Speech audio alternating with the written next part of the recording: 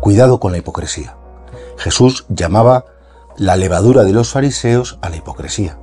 ¿Por qué? Porque es una tendencia que tenemos todos a actuar de cara a los demás, dando una buena fachada, tapando nuestros errores, con ese afán de recibir un juicio positivo de todo el mundo. Es verdad que es natural querer ser aceptado. Es verdad que a todos nos gusta estar integrados en una comunidad, en una familia, en un grupo de amigos, en el mundo laboral, sí, pero una cosa es ese querer ser aceptado, que es normal, pero otra cosa es ser afectado más que aceptado, con F.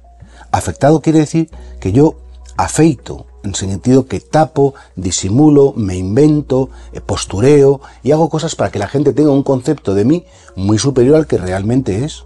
Es verdad que el cristiano no tiene que ir contando sus defectos a todo el mundo, pero también hay que tener cuidado para no irse inventando virtudes que solo las ejercemos cuando tenemos gente delante.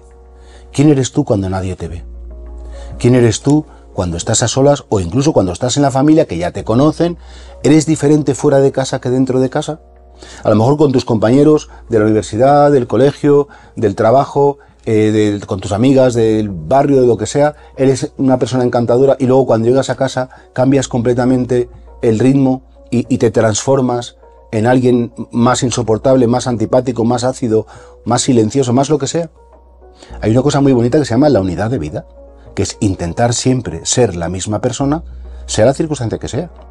Y nosotros por eso no podemos ser hipócritas. Jesús dice, cuidado con la hipocresía, cuidado con ir poniendo caritas y, bueno, pues, pues tratar a la gente como según la hemos clasificado de nos interesa o no nos interesa, podemos sacar un beneficio. Entonces, delante de los que podemos sacar un beneficio, ah, no, soy encantador, mis grupo de amigos que me voy a pasar bien para seguir con ellos, soy fantástico. En cambio, luego, como mejor a mis padres o a, este no tengo que sacarle nada, nos descuidamos muchísimo. Nosotros no podemos tener dos caras. Debemos intentar tener siempre la misma. Ah, pues me quedo con la cara mala y voy a ser siempre antipático con todo el mundo. Hombre, no. Vamos a ver si somos serios. Decimos, hombre, ya que soy amable y encantador con unos cuantos, ¿Podría ser amable y encantador con todos?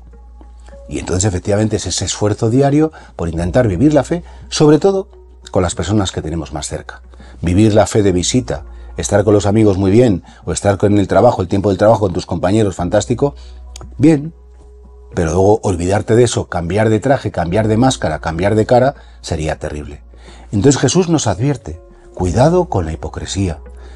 Eso quiere decir, hipócrita que es una palabra griega que significa máscara. Cuidado con las máscaras que nos podemos, nos podemos poner encima y seamos, si pudiera ser, gente transparente. Gente normal, gente con defectos, con virtudes, con cosas positivas, negativas, pero que siempre queremos hacer el bien, aunque no siempre nos salga.